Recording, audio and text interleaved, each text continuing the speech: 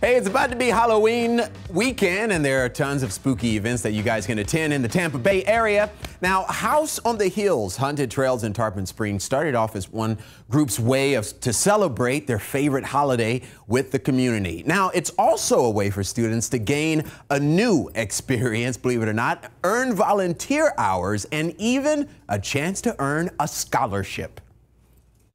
First of all, Halloween's the greatest holiday there ever was. So, I mean, we came up with the idea of raising money for people because we, our daughter was in the high school band at Tarpon High, and there were kids there that could use help raising their funds. So we started having, we had a trail for them where we raised the band fees for one of the kids.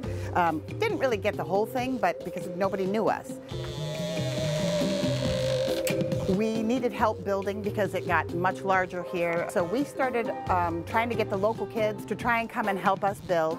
And if they did, we gave them Bright Futures hours. We would sign off on their Bright Futures hours. The last time we had a trail in 2019, my husband and I came up with the idea because we had so many kids that helped. We came up with the idea to offer a scholarship to the kid that put, puts in the most hours. We're trying to keep up with that, and we'd like to make it more than 500, but right now, that's what we're doing. And this year it really helped. A lot of kids came out for the Bright Futures Hours and their parents are all really excited about the possibility of the scholarship. So it's really made a big difference. We've already discussed starting to build next year's props right after this one ends and they all signed up to join us to work with us the whole year for next year's. So, I mean, it's great. They thought they couldn't haunt. They thought they couldn't be haunt actors, and they terrified people. So it was wonderful watching all these kids come and be created out of something they didn't even think existed.